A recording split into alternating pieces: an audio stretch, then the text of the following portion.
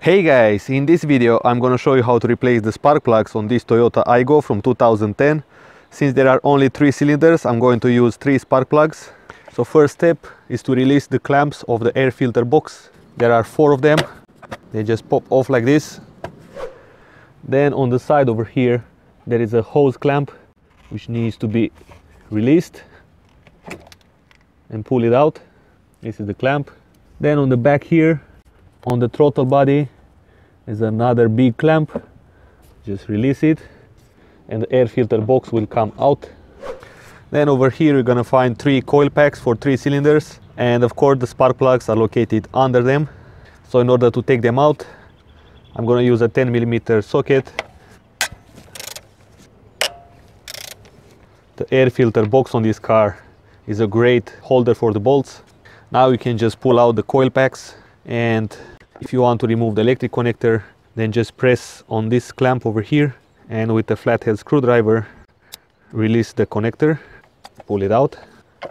And there we go, the coil pack is out. Next, with a 16 millimeter magnetic spark plug socket, I will undo slowly the spark plugs and the old spark plug is out.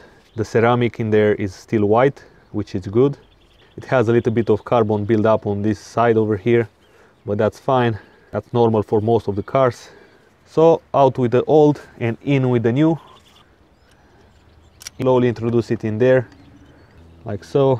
Now I can use my wrench and tighten it. Next, since all the spark plugs are in, I can install back the coil packs. Just press them in and tighten the bolt back. Make sure that you don't get any dirt in there. These bolts will just keep the coil packs on, so it doesn't need to be so tight. Now I can place back the air filter box and over here on the side, if you remember there was a clamp. And lastly, I can pop in the clamps for the air filter box.